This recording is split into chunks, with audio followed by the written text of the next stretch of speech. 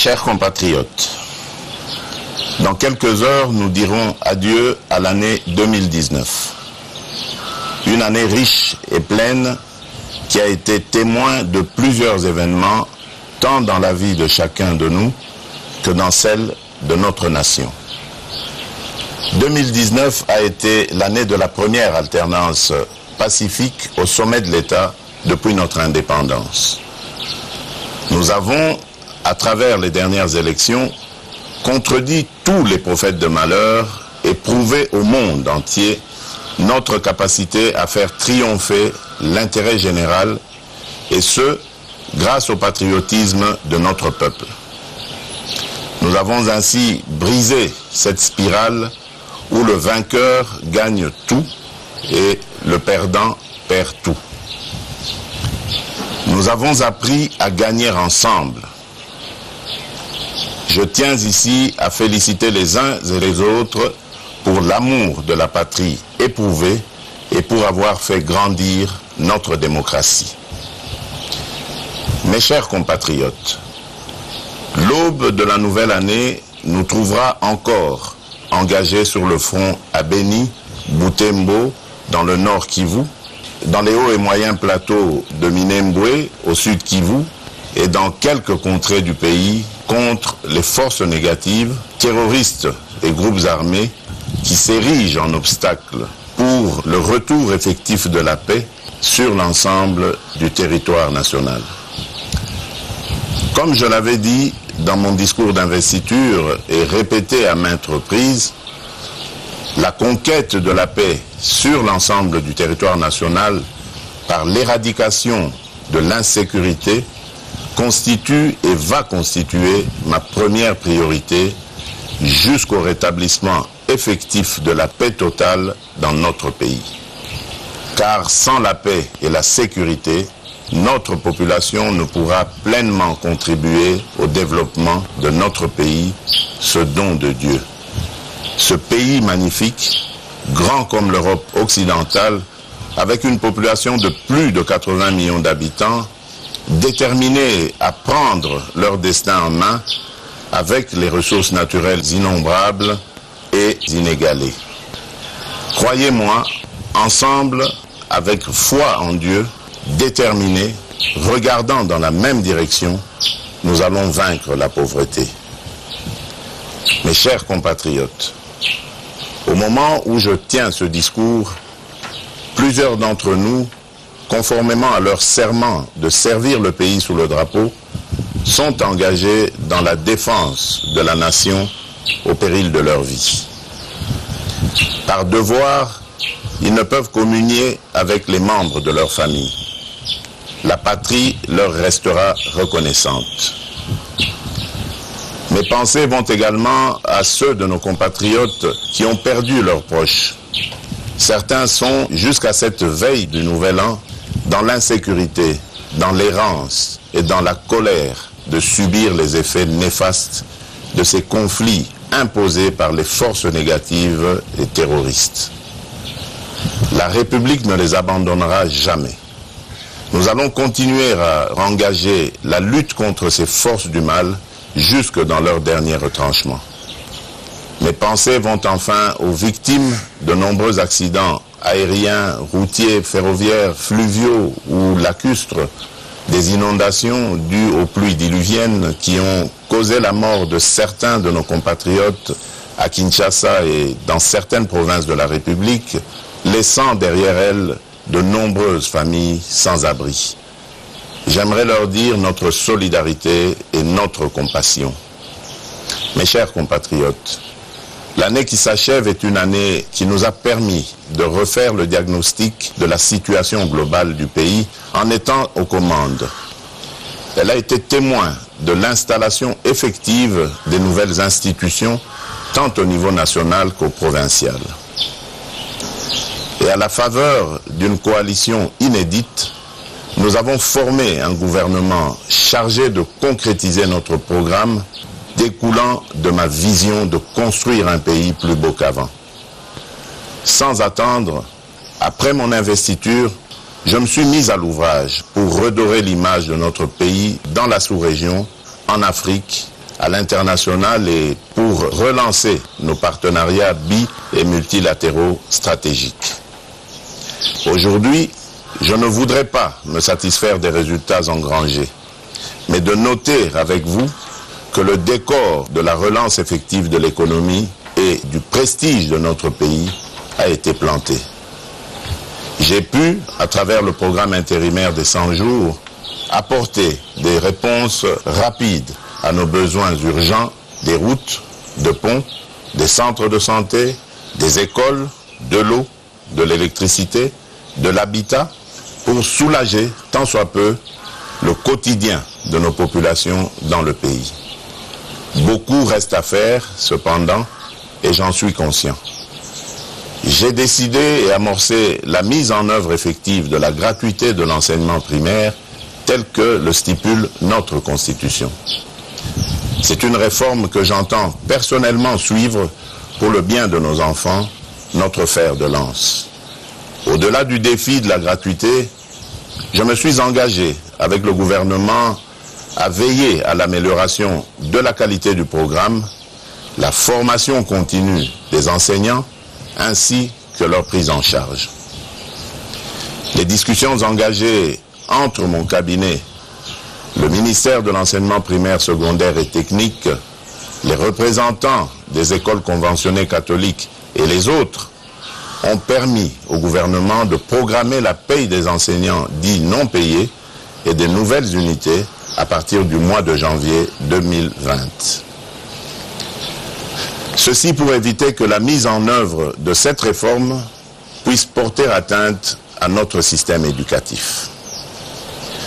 J'entends également veiller à la formation dans nos universités en vue de créer une adéquation entre notre système de formation et les exigences de notre marché. C'est ici l'occasion de rendre hommage à nos enseignants et à nos professeurs d'université qui préparent notre armée du futur, la jeunesse congolaise. Je sais que leurs conditions, tant sur le plan du travail que du social, ne sont pas les meilleures. Nous y apporterons des solutions idoines à l'issue des états généraux de l'enseignement universitaire et supérieur que j'entends convoquer au cours de cette année qui vient. Je remercie aussi les parents qui ne cessent de consentir des sacrifices pour une meilleure formation de nos enfants. Mes chers compatriotes, notre pays célébrera en 2020 ses 60 ans d'indépendance. L'occasion me semble bien appropriée pour nous interroger, revisiter le chemin parcouru et envisager des perspectives meilleures. Au regard de l'état des lieux actuel, il me paraît urgent de nous remettre en question sur le modèle de la nation que nous voulons construire. Nos pères de l'indépendance ont toujours rêvé de construire une puissance économique au cœur de l'Afrique, assise sur des valeurs d'amour, de tolérance et de partage. J'invite chacun de nous à réfléchir et à apporter sa réponse dans la concrétisation de ce rêve. C'est ainsi que j'ai décrété 2020 l'année de l'action. Le mot action définit au mieux le leadership que j'imprime depuis mon arrivée à la tête de notre pays. Car sans elle, nos discours politiques seraient dépourvus de tout sens. J'entends instaurer un nouveau système de gouvernance dans notre pays. Et dans cette œuvre commune de reconstruction, nous devons travailler de manière à éviter le piège de la routine. Nous devons être constamment à la recherche de solutions innovantes et rapides pour répondre à nos priorités. C'est ce que j'entends par le changement. Mes chers compatriotes, le moment est venu de cesser les hommages aux potentialités et convoquer l'action transformatrice pour répondre efficacement aux multiples besoins de notre population, de l'Afrique et du monde. car notre pays représente plusieurs réponses aux défis de l'humanité. Dans ce cadre, dans un esprit de cohésion nationale, avec l'implication de toutes les institutions, chacune dans ses prérogatives et à l'accompagnement de notre peuple, nous parviendrons à relever ces défis et à léguer à la postérité un pays compétitif. J'attends du gouvernement des mesures d'application pour la mise en œuvre effective des actions abordées dans mon discours sur l'état de la nation, prononcé le 14 décembre dernier devant les deux chambres du Parlement réunies en congrès. À ce propos, j'ai instruit la transmission du Premier ministre du tableau de bord reprenant toutes ces actions pour leur réalisation. Je n'ai pas besoin de rappeler ici que ces actions constituent des réformes profondes que j'entends réaliser dans les différents secteurs de la vie nationale. Toutes ces actions ne peuvent réussir sans un changement profond de mentalité. Ceci exige un engagement personnel et collectif dans la poursuite de l'intérêt général.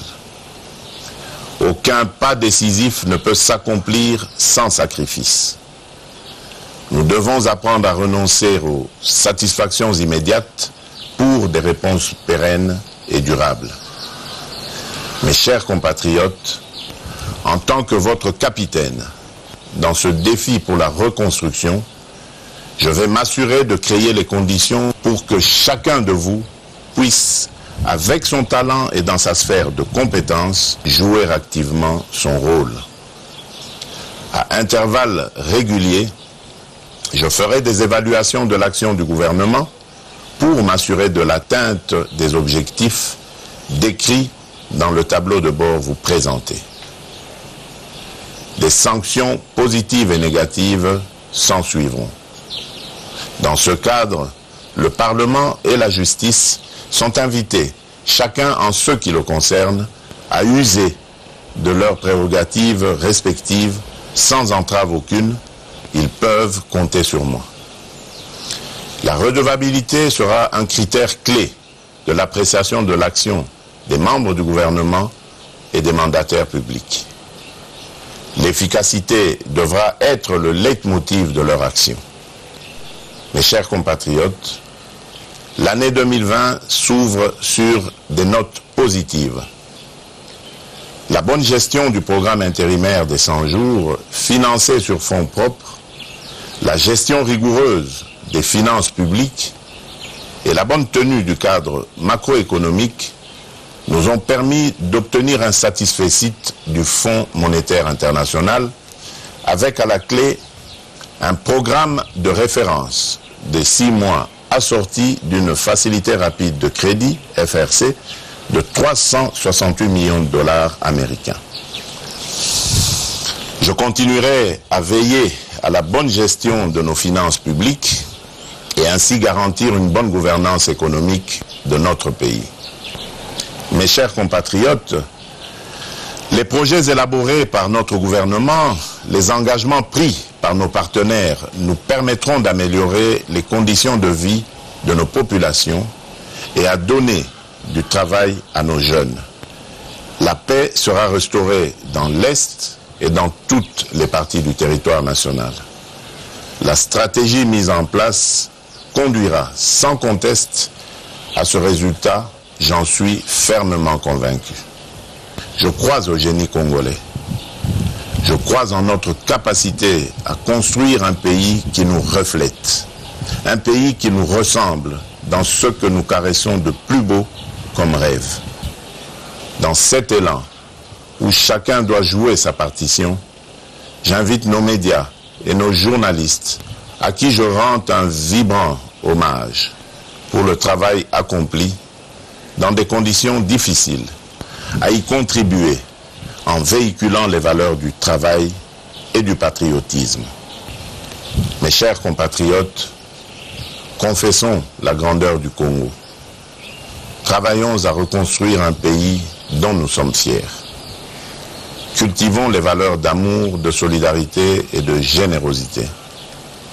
Bannissons le tribalisme, la haine, l'égoïsme et le népotisme. Œuvrons tous pour la justice sociale. À chacune et à chacun de vous, dans vos familles, au Congo ou à l'étranger, et à ceux qui vivent sur notre territoire, ceux qui ont choisi la République démocratique du Congo comme seconde patrie, je formule mes voeux les meilleurs pour la nouvelle année. Que Dieu bénisse la République démocratique du Congo et son peuple. Je vous remercie.